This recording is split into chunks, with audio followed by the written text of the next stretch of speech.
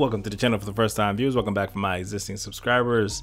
Gonna talk over this video real quick and uh yeah. So we got siege muppets essentially.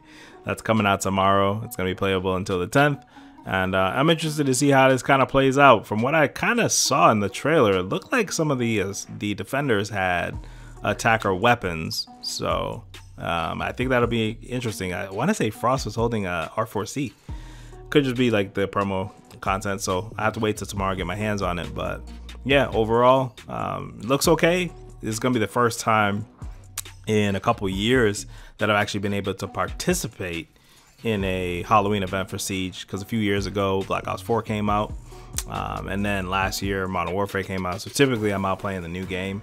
Uh, so this is gonna be interesting because this new COD doesn't come out for a while, and you know I'll actually have time to actually play this game, uh, this game mode. I'm not gonna buy any passes that go with it. I'm not interested in the cosmetics. It doesn't it doesn't really look like something that's really for me, but nonetheless, it might be a fun game mode. Let me know what y'all think about the trailer in the comments below, and I will get at y'all next time. Easy.